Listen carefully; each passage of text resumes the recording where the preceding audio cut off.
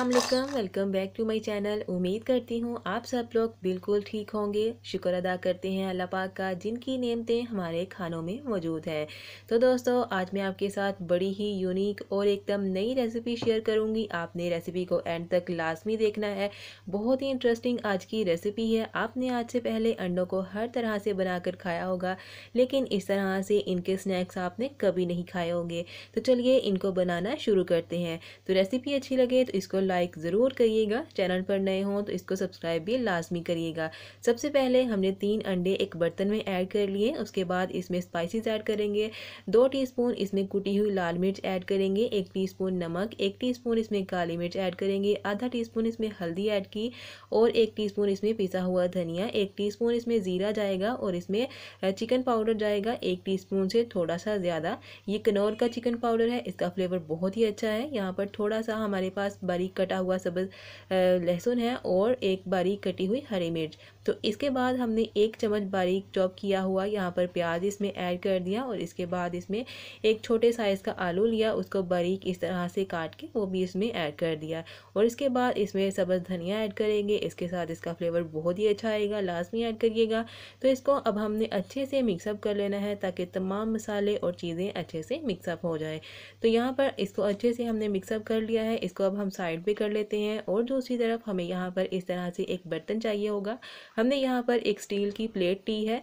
इसमें हमने एक टेबल स्पून ऑयल ऐड करके इसको अच्छे से ब्रश की मदद से ग्रीस कर लेना है। बर्तन को हमने अच्छे से ऑयल के साथ ग्रीस कर लिया है। इसके बाद अब हम इसमें अंडों का बैटर ऐड कर देंगे। इस तरह से सारा बैटर हम इसमें ऐड करके इसको अच्छे से फैला लेंगे।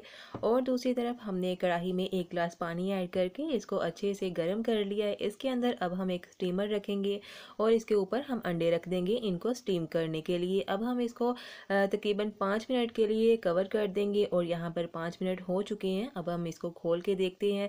तो यहाँ पर देखिए जी, माशाल्लाह से हमारे अंडे जो हैं वो अच्छे से स्टीम हो चुके हैं। बहुत ही परफेक्ट तरीके से ये पक तैयार हो चुके हैं और इनको ठंडा होने के लिए साइड पे कर देते हैं। तो जितनी देर अंडे ठंडे होंगे, उस दौरान हम इसकी कोटिंग तैयार कर लेते हैं। यहाँ पर एक बर्तन में चार खाने के चम्मच मैदा ऐड किया। इसमें एक टी जाएगा चाट मसाला और थोड़ा सा इसमें नमक ऐड करेंगे ताकि जब इसको हम फ्राई करें तो ये फीके ना लगे। और यहाँ पर इसको अच्छे से मिक्सअप कर लेते हैं और अब हम इसमें पानी ऐड करते हुए इसको अच्छे से मिक्सअप करते जाएँगे और इसका एक बहुत ही अच्छा सा अमेज़ा बनाकर तैयार कर लेंगे। ना ही ज़्यादा पतला होना चाहिए और ना ही ज़्यादा गाढ़ा होना चाहिए। तो इस तरह से दोबारा इसमें पानी ऐड करते हुए इसको अच्छे से मिक्सअप करेंगे और जी देखिए अभी थोड़ा सा गाढ़ा है, थोड़ा सा पानी और ऐड करके इसको अच्छे से मिक्सअप करेंगे। ये देखिए बिल्कुल अच्छे से ये तैयार हो चुका है और ये वाला आधा कप पानी का इस्तेमाल हुआ है। और यहाँ पर देखिए अंडे अच्छे से ठंडे हो चुके हैं तो एक इस तरह से फ्लैट चम्मच लेंगे। ये ख्याल करना है कि इसको नाइफ़ की मदद से आपने नहीं निकालना, वरना ये टूट जाएगा। इस तरह से फ्लैट चम्मच के साथ ये अच्छे से निकल आएगा। तो यहाँ पर देखिए, हमने इसको बर्तन में से निकाल लिया है और अब हम इसकी कटिंग कर लेते हैं। कटिंग आप कोई भी शेप इसको दे सकते हैं, जो भी आपको पसंद हो। आप उसी तरीके के साथ इसको कट कर सकते हैं। तो दोस्तों, अगर आपको आज की ये रेसिपी अच्छी लगे तो इसको लाइक ज़रूर करिएगा।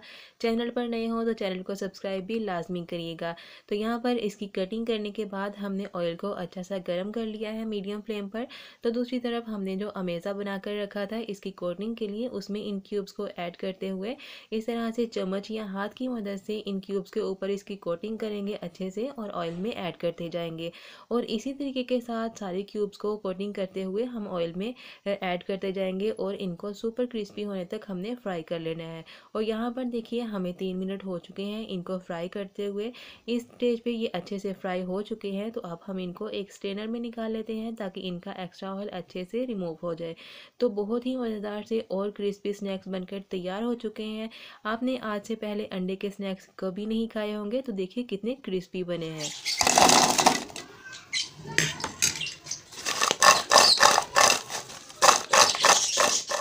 देखिए दोस्तों, हमारे बहुत ही क्रिस्पी एग बाइट्स बनकर तैयार हो चुके हैं।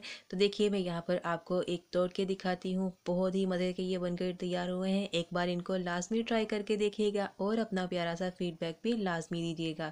तो आज की बहुत ही आसान और मज़ेदार सी अगर आपको रेसिपी पसंद आए तो इसको लाइक, शेयर, कमेंट लाजमी करिएगा। फ्रेंड्स और फैमिली मेंबर्स के साथ भी लाजमी शेयर करिएगा। तो मिलते हैं आपके साथ एक नई वीडियो में, एक नई रेसिपी के साथ। तब तक के लिए अल्लाह हाफिज़।